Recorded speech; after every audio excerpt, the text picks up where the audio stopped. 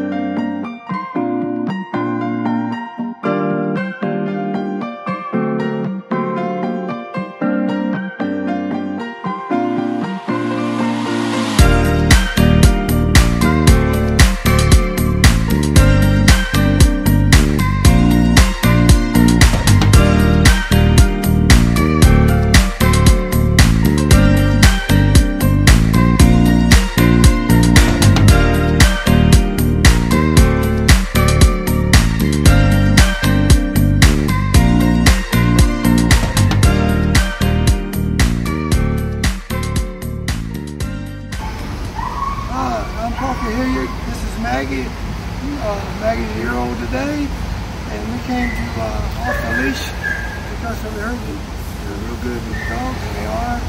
Uh, most of all, I like the, the videos they send each night with Volkart, Donald for Partners, for dogs during the day. Maggie was stubborn, would, would uh, wander off and not pay attention, and I can tell a big difference after the two-week training off the leash. Uh, I think they did a tremendous job with her and I'm looking forward to another trainer when we get home.